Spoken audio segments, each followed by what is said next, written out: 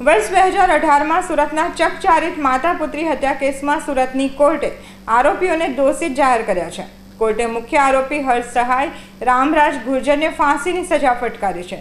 જ્યારે સહ આરોપી હરિઓમ હીરાલાલ ગુર્જરને સખત આજીવન કેદની સજા સંભળાવવામાં આવી છે. તારીખ છ ચાર બે હજાર અઢારના રોજ ભેસ્તાન નજીક ક્રિકેટ ગ્રાઉન્ડ પાસે એક બાળકીની લાશ મળી આવી હતી. બાળકીનું પીએમ કરતાં બાળકી પર દુષ્કર્મ ગુજારવામાં આવ્યું હોવાનું સામે આવ્યું હતું. અને તેના શરીર ઉપર તેમજ પ્રાઇવેટ પાર્ટ ઉપર ઇઠ્યોતેર જેટલા ઈજાના નિશાન મળી આવતા પોલીસ સહિત સુરત શહેર હચમચી ગયું હતું. એક તરફ પોલીસ બાળકી કોણ છે અને તેની હત્યા કોણે અને શા માટે કરી તે દિશામાં તપાસ કરી રહી હતી. અને આ જ ઘટનાના અંદાજે દસ દિવસ પહેલાં સચિન મગધલા હાઈવે રોડ પરથી પોલીસની અજાણી સ્ત્રીની લાશ મળી હતી. જોકે મૃતક મહિલાની ઓળખ પણ થઈ શકી ન હતી. તપાસ દરમિયાન એક સમયે પોલીસને બંને કેસ વચ્ચે કનેક્શન હોવાની પૂરેપૂરી શંકા જતા બંનેના ડીએનએ ટેસ્ટ કરાવાતા બંને કેસ એક જ હોવાનું અને બંને માતા પુત્રી જ હોવાનું સામે આવ્યું હતું. જોકે આ બંને માતા પુત્રીની ઓળખ માટે પાંડેસરા પોલીસે સમગ્ર દેશમાં પાસઠસો જેટલા પોસ્ટરો લગાવ્યા હતા. આ તપાસમાં સુરત ક્રાઇમ બ્રાન્ચ, એસઓજી સહિતનો કાફલો કામે લાગ્યો હતો.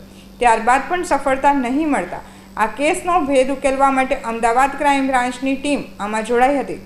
દરમિયાન અમદાવાદ ક્રાઇમ બ્રાન્ચને બાળકીની લાશ જ્યાંથી મળી હતી ત્યાંથી એક કાળા કલરની સ્પાર્ક ગાડીની લાઇટ નજરે પડી હતી અને ગાડીમાંથી જ લાશ ફેંકવામાં આવી હોવાની શંકા પ્રબળ બની હતી. જેથી પોલીસે તે દિશામાં તપાસ શરૂ કરી હતી અને આખરે પોલીસે આ ગુનાનો ભેદ ઉકેલી કાઢ્યો હતો. આ કેસમાં રાજસ્થાન ખાતેથી પોલીસે આરોપી હર્ષ સહાય રામરાજ ગુર્જર તથા તેને મદદ કરનાર હરિઓમ હીરાલાલ ગુર્જરને ઝડપી પાડ્યા હતા. પોલીસે બંને આરોપીની ધરપકડ કરી કડક પૂછપરછ કરતા હર્ષ સહાય રામરાજ ગુર્જર રાજસ્થાનથી આ મહિલા અને તેની પુત્રીને પાંત્રીસ હજારમાં ખરીદીને સુરત લાવ્યો હોવાની કબૂલાત કરી હતી. આ માતા પુત્રીને પહેલા પર્વત પાટિયાના અનુપમ હાઇટ્સ બિલ્ડિંગમાં રાખવામાં આવ્યા હતા. બાદમાં કામરેજ નજીક માનસરોવર રેસિડેન્સી બિલ્ડિંગ નંબર સત્તરના એક ખાલી ફ્લેટમાં રહેવાની વ્યવસ્થા કરવામાં આવી હતી. જોકે મહિલા અને હર્ષ સહાય વચ્ચે વારંવાર ઝઘડા થતા હતા, જેથી હર્ષ સહાય મહિલાની તેની પુત્રીની નજર સામે જ હત્યા કરી નાખી હતી. ત્યારબાદમાં મહિલાની પુત્રીને તેના ઘરે લઈ ગયો હતો અને તેની પર અવારનવાર દુષ્કર્મ કર્યું હોવાની કબૂલાત કરી હતી. ત્યારે આ કેસમાં પોલીસે તેતાલીસ સાક્ષીઓ, એકસો વીસ જેટલા દસ્તાવેજી પુરાવા રજૂ કર્યા હતા. દરમિયાન એડિશનલ સેશન્સ જજ અને સ્પેશિયલ જજ પોક્સો એ એચ ધામાણી સમક્ષ ટ્રાયલ ચાલી હતી, જેમાં આરોપીએ ગુનો કર્યો હોવાનું પુરવાર થયું હતું. ત્યારે આજે સુરત કોર્ટ દ્વારા આ ઐતિહાસિક ચુકાદો આપવામાં આવ્યો અને આરોપી માતા અને બાળકી રેપ વિથ હત્યા કેસમાં મુખ્ય આરોપી હર્ષ ગુર્જરને ફાંસી અને મદદગાર આરોપીને આજીવન કેદની સજા ફટકારતો હુકમ કરવામાં આવ્યો. આરોપી નંબર એક હર્ષહાય રામરાજ ગુજ્જરને ત્રણસો બેના ગુના માટે દેહાંતરની સજા ફરમાવવામાં આવી છે. ત્રણસો છોતેર બેના ગુના માટે આજીવન કેદની સજા ફરમાવવામાં આવી છે. અને બસો એકના ગુના માટે સાત વર્ષની કેદની સજા ફરમાવવામાં આવી છે. બાળકીના પિતાને અને મરનારના, એની માતાના પિતાને સંયુક્ત રીતના સાડા સાત લાખ રૂપિયા વળતરની રકમ ચૂકવવા માટે પણ હુકમ કરવામાં આવ્યો છે. આરોપી નંબર બેને ત્રણસો બેના ગુના બદલ આજીવન કેદની સજા અને ત્રણસો ચોસઠના ગુના બદલ દસ વર્ષની કેદની સજા કરવામાં આવી છે. અને આ બધી સજા એક સાથે ભોગવવામાં આવી છે. ભોગવવાની રહેશે.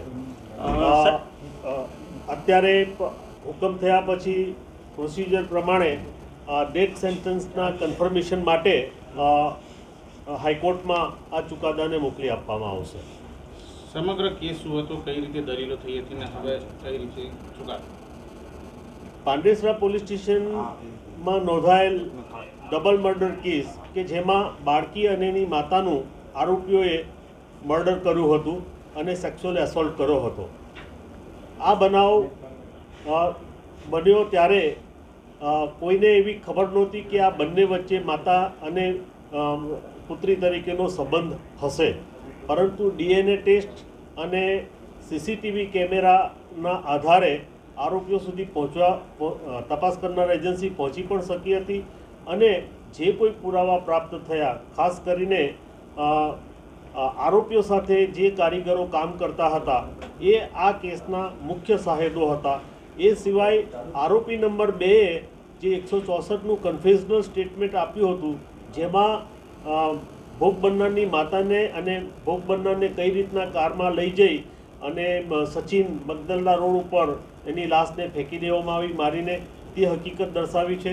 ત્યારબાદ બાળકીને પોતાના ઘરે લાવ્યા બાદ એને આશરે દસ દિવસ પછી એનું પણ મૃત્યુ નિપજાવવામાં આવ્યું હતું.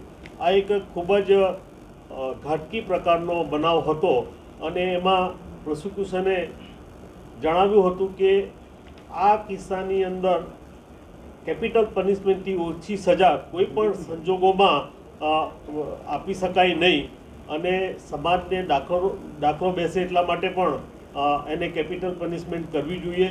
ડબલ મર્ડરનો કેસ હતો સેક્સ સેક્સ્યુઅલ એસોલ્ટ હતો અને જ્યારે પોક્સોના કેસની અંદર ખાસ કરીને ફાંસીની સજાની જોગવાઈ કરવામાં આવી છે, ત્યારે એને સમર્થનકારક પુરાવા પ્રાપ્ત થયા હોય, આરોપીને ફાંસીની સજા આપવી જોઈએ.